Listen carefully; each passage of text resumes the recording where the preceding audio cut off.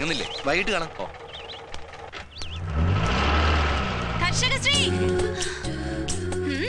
സ്വന്തം മിടുക്കൊണ്ട് മാത്രം ഇതൊക്കെ കിട്ടിയെന്ന് വിചാരിക്കണ്ട കേട്ടോ. പിന്നെ?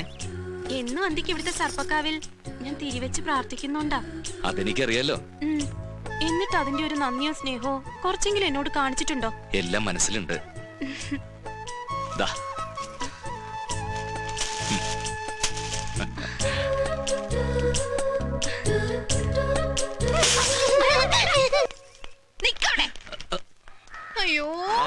ഇങ്ങോട്ട് വന്നേ. കണ്ണീർ കൊണ്ട് വാടി എന്റെ കുട്ടി. എല്ലാ വിടടി. അല്ല ദേവ ആ മാലയുടെ. മാല ഞാൻ വരുന്ന വഴി മീനാക്ഷിക്ക് കൊടുത്തു. എന്റെ ദൈവമേ മീനാക്ഷിക്ക് കൊടുക്കേ. നിനക്ക് എന്താ ഭ്രാന്തുണ്ടോ സ്വർണത്തിന്റെ വില നിനക്ക് അറിയില്ലേ ദേവ സ്വർണപ്പതക്കാണോ ആ. ദാ, ദൈവമേ. നോക്കട്ടെ നോക്കട്ടെ. ഇത് നയൻ വൺ സിക്സ് ആണോ ഇത് അതൊന്നുമല്ല. അസൽ സ്വർണം തന്നെയാ. ഇത് ഞാൻ ആർക്കും തരില്ല. എനിക്ക് തന്നെ വേണം.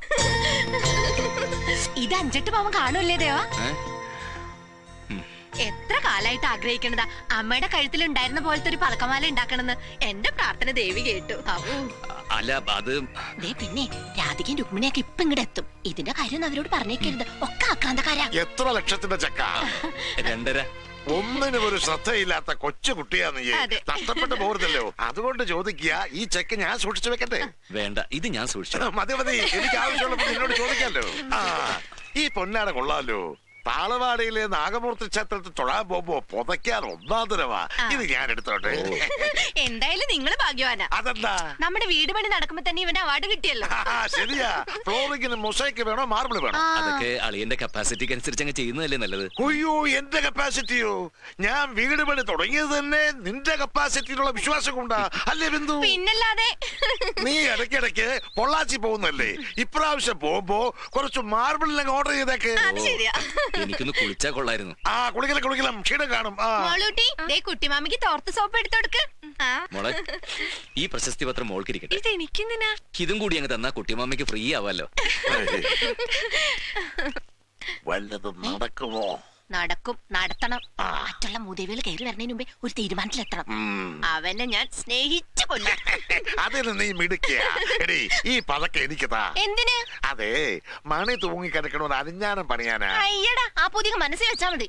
ഇപ്പൊ അരയിലിരിക്കണ തന്നെ ധാരാള. ഇനി മണിയും കൂടെ കെട്ടി തൂക്കി ബാക്കിയുള്ളവരെ പ്രാന്ത് പിടിപ്പിക്കണ്ട. പോടി. വയസ്സാം കാലത്ത്. സ്വാർത്ഥമതി. മദ്യത്തിന് വില കൂടിയേക്കും. ഇങ്ങനെ പോയാ ചാവാൻ നേരത്ത് ഒരു തുള്ളി പോലും കിട്ടില്ലല്ലോ ഈശ്വര. എന്റെ ഫീസ്? ഓ കുട്ടിമാമ അതങ്ങ് മറന്നു. എന്താ ദേവാ ഇത്? ഇത്തരം കാര്യങ്ങളൊക്കെ ഓർമ്മിച്ചു വെക്കണ്ടേ? ഈ കൊയ്ത്തിന്റെ തിരക്കിനിടയ്ക്ക്. അല്ലെങ്കിലും അവൻ തന്നെയല്ലേ എല്ലാ മാസം ഫീസ് കൊടുക്കാറ്.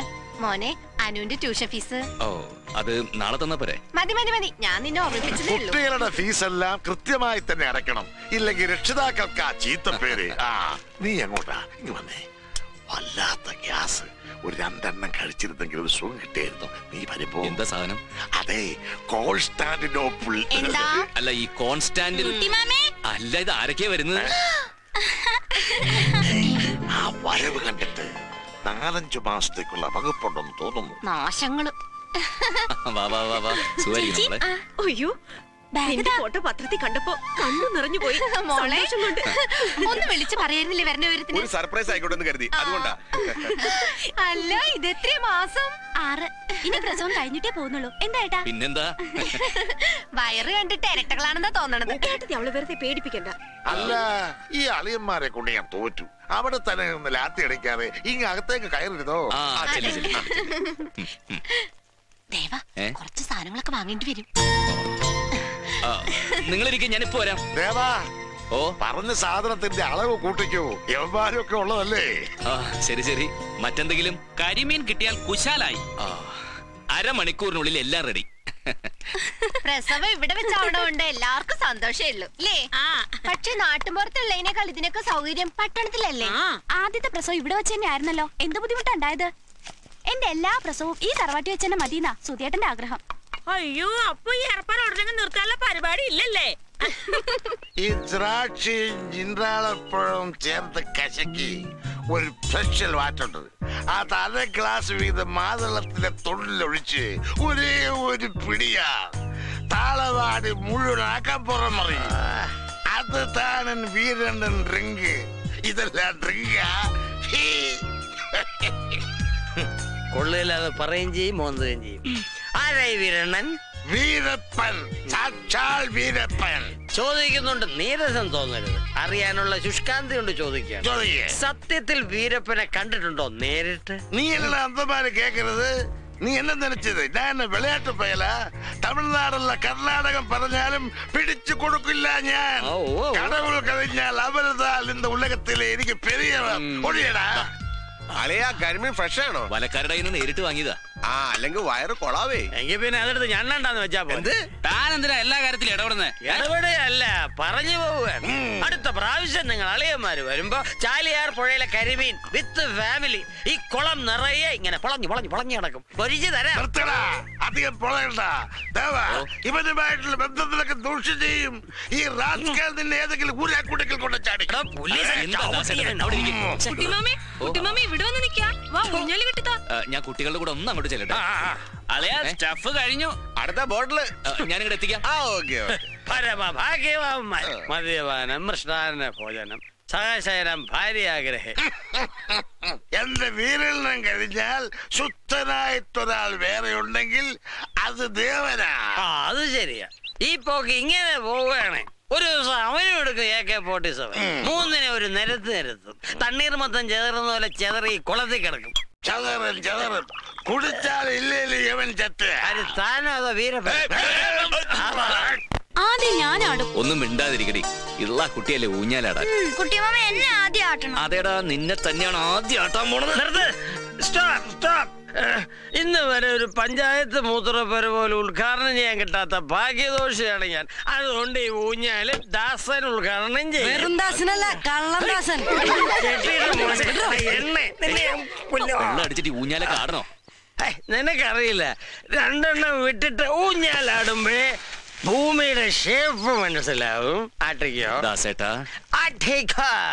ആ.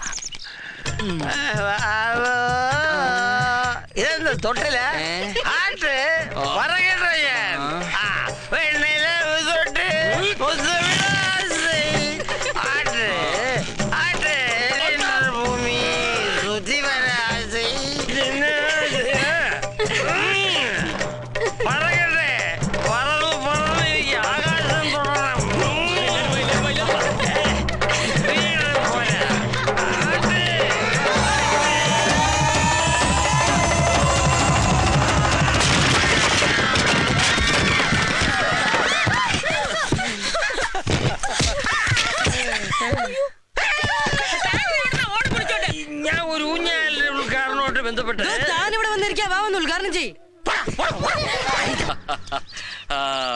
പെങ്ങന്മാരുടെ കല്യാണം അവരുടെ പ്രസവം അവരുടെ മക്കളുടെ കല്യാണം.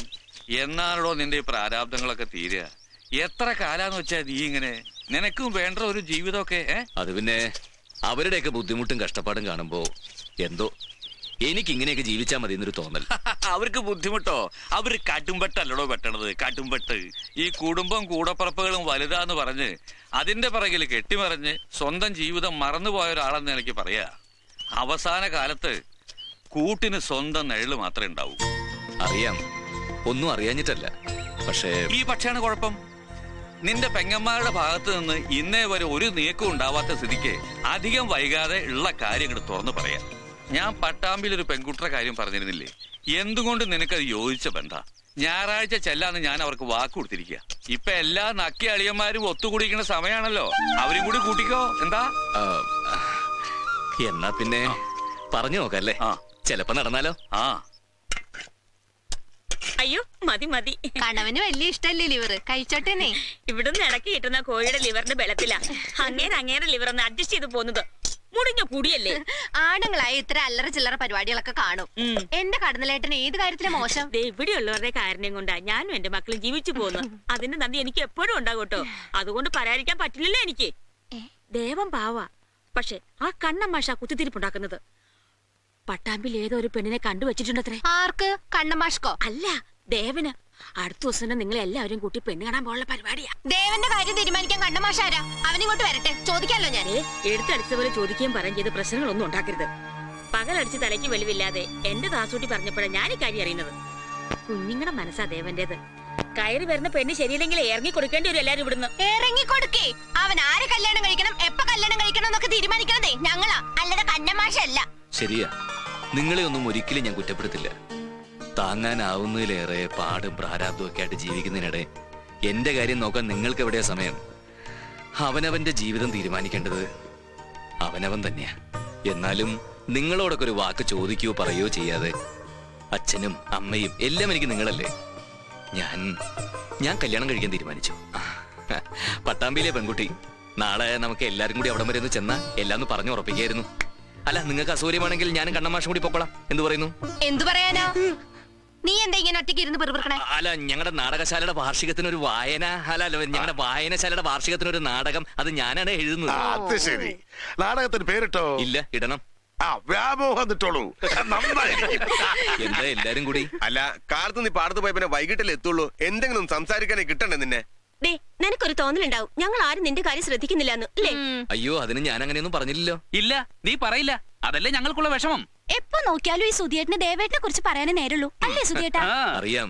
നിങ്ങൾക്ക് എല്ലാവർക്കും എപ്പോഴും എന്നെ കുറിച്ചാണ് ചിന്ത എന്ന് എനിക്കറിയാം. ഇതിങ്ങനെ അധികം വലിച്ചു നീട്ടാണ്ട് കാര്യം എന്താണെന്ന് വെച്ചാൽ അവനോട് തുറന്നു പറയരുതോ?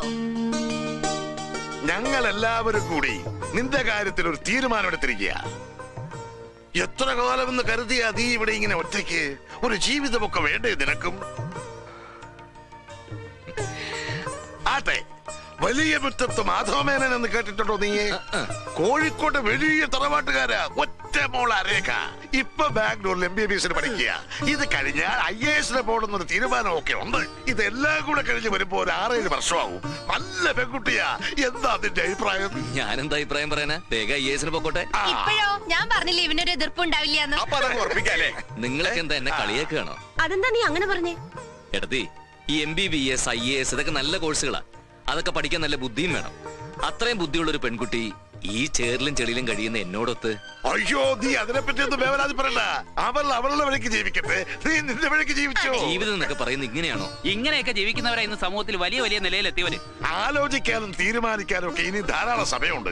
അതിനു മുമ്പ് നിന്നോട് ഞങ്ങൾക്ക് ഒരു പ്രധാനപ്പെട്ട കാര്യം പറയാറുണ്ട് ദാ, ഇവളുടെ കല്യാണക്കാരൻ തന്നെ. രുക്മിണി എല്ലാം നിന്നോട് പറഞ്ഞിട്ടുണ്ടാവുമല്ലോ. വരുന്ന ഏപ്രിൽ അവൻ അമേരിക്കയിൽ നിന്ന് വരുമ്പോ അതെങ്ങ് നടത്തണം.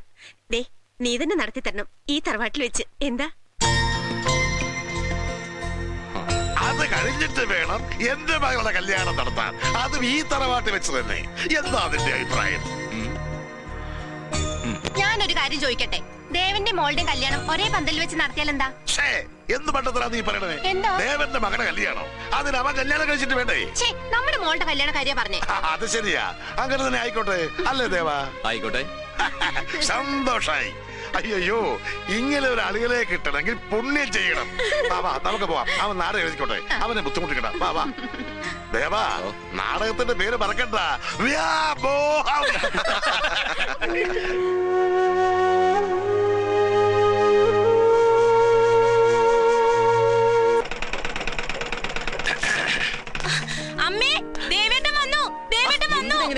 കാറുന്നത് ഞാൻ ദുബായിൽ നിന്നും അല്ലല്ലോ വരുന്നത്. ഇപ്പൊ പഴയ പോലെ അല്ലല്ലോ. വലിയ ആളല്ലേ. പിന്നെ വല്യമ്മ വന്നില്ലടി. വരാറാവുന്നല്ലേ ഉള്ളൂ. അമ്മായി. ഇരിക്കും മോനെ. എന്താ ഇതൊക്കെ? അമ്മായിക്കും വല്യമാമയ്ക്കും കുറച്ച് തുണികളാ. ഓ മറന്നു. ദാ ഇത് നിനക്ക്. നന്ദി നമസ്കാരം. എന്തിനാ മോനെ ഇതെല്ലാം? കർഷകശ്രീ അവാർഡ് കിട്ടിയ വകയല്ലേ? പിശുക്കനാ രണ്ടു കഷ്ണം തുണി കൊണ്ട് കാര്യം ഒപ്പിച്ച് കളഞ്ഞല്ലോ. ഓ. നീ എന്തിനാ അവനെ ചൂടാക്കുന്നേ? ചെന്നൊരു ഗ്ലാസ് ചായ എടുക്ക്. അവാർഡ് കിട്ടിയെന്ന് അറിഞ്ഞപ്പോ സന്തോഷായി.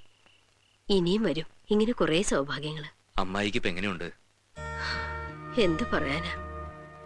മറ്റുള്ളവരൊക്കെ ഇനിയും കഷ്ടപ്പെടുത്താതെ അങ്ങ് പോയാ മതിയായിരുന്നു. അങ്ങനെയൊന്നും പറയരുത്. നമ്മളല്ലല്ലോ കാര്യങ്ങളൊക്കെ നിശ്ചയിക്കുന്നത്. എല്ലാം നേരെയാവും. നേരെയാവണം. എല്ലാവരും എത്തിയെന്നറിഞ്ഞു. ഒന്ന് കാണണമെന്നുണ്ടായിരുന്നു. പക്ഷേ പോകുന്നതിന് മുമ്പ് അവരൊക്കെ ഇങ്ങോട്ടേക്ക് വരുമെന്ന് പറഞ്ഞിട്ടുണ്ട്. ഇപ്പൊ അവിടെ ഒരു ഉത്സവം പോലെ. വീട് നിറയെ കുട്ടികളും ആളുകളും. അതൊക്കെ ഒരു സുഖം തന്നെയല്ലേ അമ്മായി? രാധയുടെ പ്രസവം ഇവിടെ വെച്ചാണെന്ന് കേട്ടു. ആ ഇവിടെ ഉള്ളതിനേക്കാൾ സൗകര്യം അങ്ങ് സിറ്റിയിലാണെന്ന് പറഞ്ഞിട്ട് അവൾക്ക് മനസ്സിലാവണ്ടേ. കുട്ടികളെ പോലെ വാശി പിടിച്ച പിന്നെ നമ്മൾ എന്താ ചെയ്യാ? ഓ പെങ്ങന്മാർക്ക് പറ്റിയൊരാങ്ങള എന്നാ ഞാൻ ഇറങ്ങട്ടെ. നാളെയോ മറ്റന്നാളോ പൊള്ളാച്ചി വരുന്നു പോണം. പോയിട്ട് വന്നിട്ട് ഇറങ്ങാം. മൂവായിരം രൂപയിൽ അഞ്ച് പൈസ കുറയില്ല. രണ്ടായിരത്തി അഞ്ഞൂറിനാണെങ്കിൽ കച്ചവടം ഉറപ്പിക്കാം. ഇതിലും ഭേദം ഒരു കുഴി കുത്തി ഇതെല്ലാം കൂടി അതിനകത്ത് വാരിയിട്ട് ഉറപ്പിക്കുന്ന എന്ത് കാര്യത്തിനായാലും ഒരു മാന്യത വേണ്ടേ? ഇയാൾ എന്താ വിചാരിച്ചേ പ്ലാച്ചുമടയിൽ ഉണ്ടാക്കുന്ന കലക്കവെള്ളമാണ് എന്ന് കരുതിയോ? കച്ചവടക്കാരനാണോ? കോത്താഴത്ത്. ഒരു ചായ കൊണ്ടുപോടോ അത്ര നേരമായി. കാളാമൂത്രം. ചായ. രണ്ടായിരത്തി അഞ്ഞൂറ് രൂപ കൊടുക്കായിരുന്നു. എന്നാലും നഷ്ടം വരില്ല. കച്ചവടത്തിൽ ഇടപെടണ്ട. അതൊക്കെ ഞാൻ നോക്കിക്കോളാം. ഇങ്ങനെയാണ് ഇതെല്ലാം കൂടി തിരിച്ച് സംഘം ഓഫീസിൽ കൊണ്ടുവയ്ക്കേണ്ടി വരും. പടവലങ്ങ പോലെ താൻ അവിടെ പടർന്നിരിക്കുന്നിടത്തോളം കാലം ഒരു കച്ചവടവും നടക്കില്ല. മുടിഞ്ഞു പോവേ ഉള്ളൂ. എങ്ങനെയുണ്ട്? വിചാരിച്ചത്ര പോരാ ദേവ. ഇങ്ങനെ കടുംപിടുത്തം പിടിച്ചാൽ എങ്ങനെ കച്ചവടം നടക്കും? അതെനിക്കിട്ട് താങ്ങിയെന്ന് മനസ്സിലായി. ഇനി താൻ സംസാരിച്ച ഈ മത്തങ്ങ തലയിൽ ഉടച്ച് തലശ്ശേരി ശരിയാക്കാം മത്തങ്ങ. വെറുതെ പ്രശ്നങ്ങളണ്ടാക്കാതെ കച്ചവടം നടക്കട്ടെ?